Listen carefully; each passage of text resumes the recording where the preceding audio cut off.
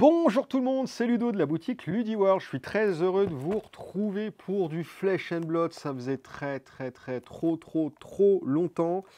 J'aimais bien les petites vidéos que je faisais au début où je vous montrais un petit peu les spécificités de chaque extension et tout ça. Bref, j'ai arrêté de le faire, plus trop de temps. Euh, moi perso, je joue beaucoup beaucoup, quasiment plus à Flesh and Blood. J'ai euh, rien à lui reprocher, hein. c'est toujours le jeu de la décennie pour moi, clairement un jeu simple mais hyper profond, hyper technique et tout. Et euh, bref, voilà. moi perso, je suis un peu déconnecté du jeu, mais, euh, mais toujours très très cool. Et puis les cartes magnifiques et tout. Enfin, tout est trop bien dans ce jeu-là, vraiment. Donc aujourd'hui, je vais vous parler, euh, enfin parler, on va regarder ensemble, hein, des nouveaux decks de démarrage associés à la série Story Pack 1 était sorti en VF en juillet. Il n'y avait pas de deck, c'était hallucinant. Donc là, ça y est, il y a les decks enfin. 6 euh, decks, 6 héros, 6 thématiques différents, 6 gameplays euh, différents. Euh, et, enfin, les joueurs VF vont pouvoir se mettre dignement à Flesh and Blood. Il y a 6 nouveaux decks de la prochaine série en VF qui sortiront le mois prochain, dans 4 semaines tout pile. Donc les joueurs VF auront 12 nouveaux decks, ça c'est cool. Et on a l'History Pack 2 qui euh, arrive, en VF également. Euh, en anglais, est-ce que ça arrive en anglais? En anglais, oui, ça arrive aussi, je crois. Je sais plus. Non, c'est que de la VF. Non, c'est que de la VF. Euh, et ça compile donc la deuxième année de Flesh and Blood. Donc la première année, l'History Pack 1, c'était WTR, Arcane Rising, Crucible of War. Et là, on va avoir donc Monarch, Tales of Aria et Everfest, si je raconte pas de bêtises. Des displays de 36 boosters, toutes les classes euh, bah, du jeu, euh, enfin du jeu, en tout cas des extensions que je viens de, mentionner. Euh, donc pour les joueurs VF qui n'avaient pas eu accès à ces trois extensions en VO, bah, c'est cool. Comme l'History Pack 1, c'est un best-of, un mix des trois premiers sets, mais il y a encore plus de cartes, je crois, que l'History Pack 1, j'en sais rien, j'ai rien regardé du tout. Euh. Allez, bref, on s'ouvre un petit truc. On va déjà ouvrir les decks. Hop Donc voilà le petit display. Voilà, 6 héros. Tac Oh la vache que c'est beau Dory, la petite guerrière avec son épée qui va chercher à filer plusieurs petits coups d'épée et qui va chercher à amplifier euh, les attaques après que vous ayez bloqué par des attaques-réactions. Euh, donc ça, c'est très très très très fourbe. On est tenté d'overbloquer, mais dans ce cas-là, c'est euh, card advantage pour l'attaquant qui va pas claquer ses attaques-réactions. Ou si on est un peu trop radin en défense, bah là, c'est la fête pour Dory. Elle va bombarder d'attaques-réactions. Et ça va vous faire très très mal. Regardez ça, des decks en mais c'est la fête. On a Reinhard, la brute qui vit dans la jungle. C'est le chaos total, des coups totalement random. On n'est pas bien précis, mais par contre, si on a de la chance, ça peut faire très, très, très, très, très, très, très, très mal. La sauvagerie à l'état pur. On a Bravo, le gardien, avec un gros, gros, gros marteau. Il va pas attaquer très souvent, il va défendre comme un fou très bien défendre et il va faire qu'une seule petite attaque par tour mais qui va être assez grosse et il va beaucoup moins s'épuiser que vous, il va essayer de vous avoir à l'usure, c'est le gardien. On a Kano, le wizard, le magicien qui va jouer euh, un peu à la palpatine, qui va vous tirer des éclairs, des salves de feu, etc. Euh, il va vous faire zéro attaque euh, traditionnelle, c'est que des attaques bah, des attaques à distance en gros, donc ça peut faire très très très très mal. Toc. On a Viscerail, les euh, pseudo-démonistes. C'est quoi déjà le... les, les arches-nuits en français voilà. Euh, je sais même plus trop ce qu'il fait, Viscerail. Il va pondre des tokens qui vont se transformer en dégâts directs. Euh, assez cool dans la thématique, dans l'orientation du deck, on va pouvoir cumuler des jetons. Enfin après en même temps je connais pas le deck, je sais pas comment ils l'ont buildé, mais je parle de la, mécanique générale de, des Runeblade à l'époque euh, à l'époque Viscerail.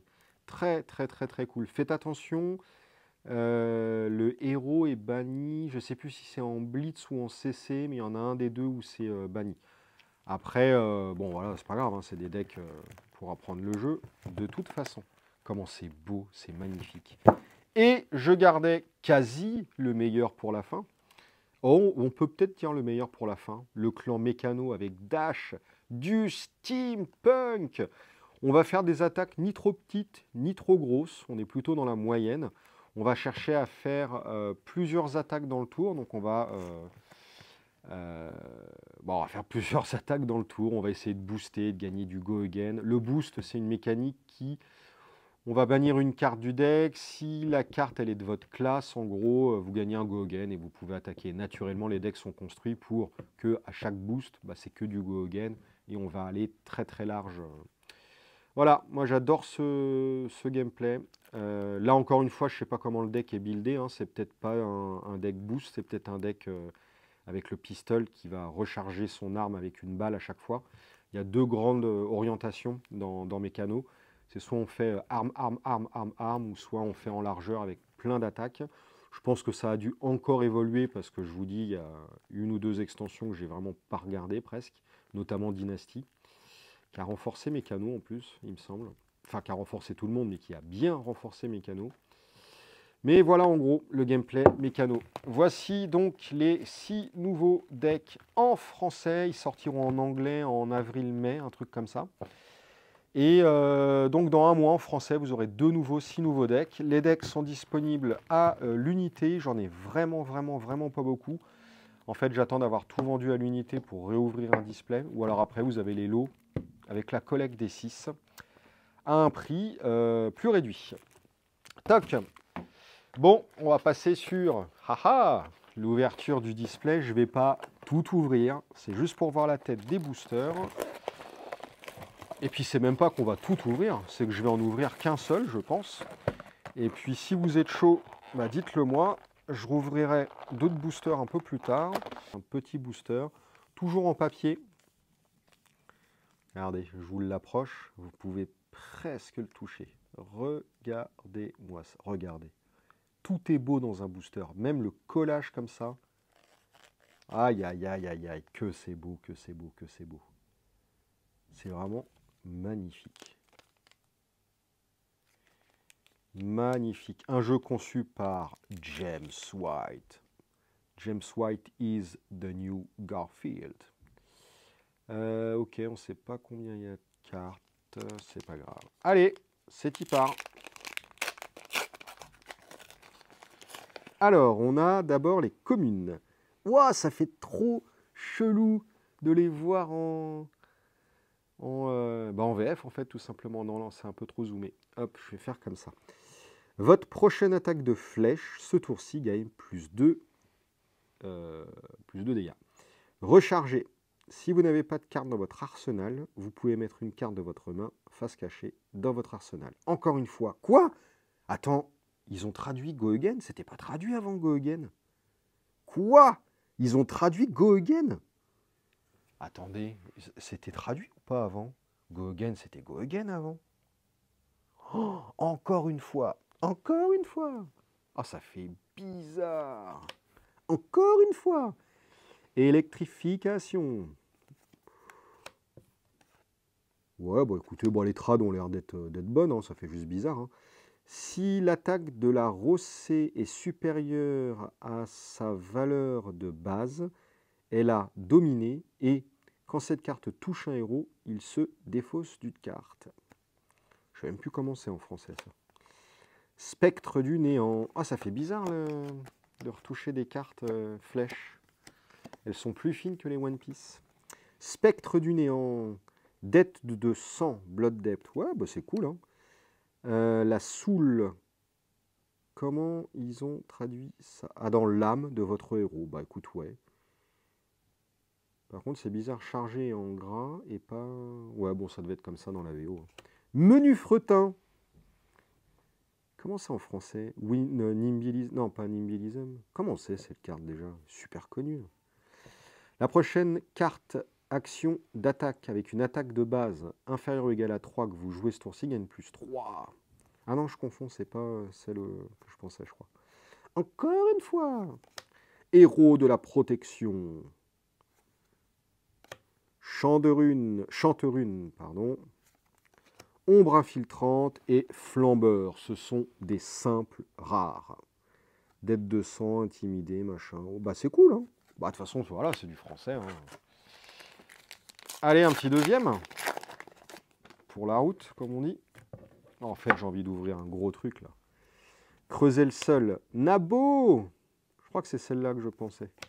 Avalanche naissante. ça fait chelou de voir ça en anglais. Cool. En fait, c'est les dernières cartes que j'ai jouées, c'était TOA. Et du coup, euh, ouais, ça fait bizarre. Lustrage. Chevauché sauvage. Talisman de dîme. Oh, ça. Ah non, ça brille pas. Bouclier prismatique. Réprimande de l'émérite. Ok, là j'avais trois rares dans le booster. Ok. Pourquoi j'avais trois rares Je ne sais pas.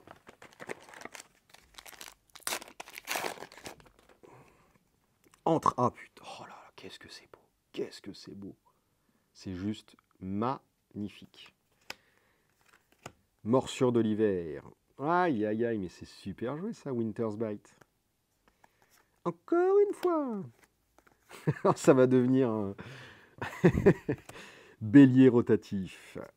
Amulette de Havremande. Bon moment de plaisir. Et rite de foudre. Encore une fois. Je veux ouvrir un truc. Bon sang. Force de séquoia.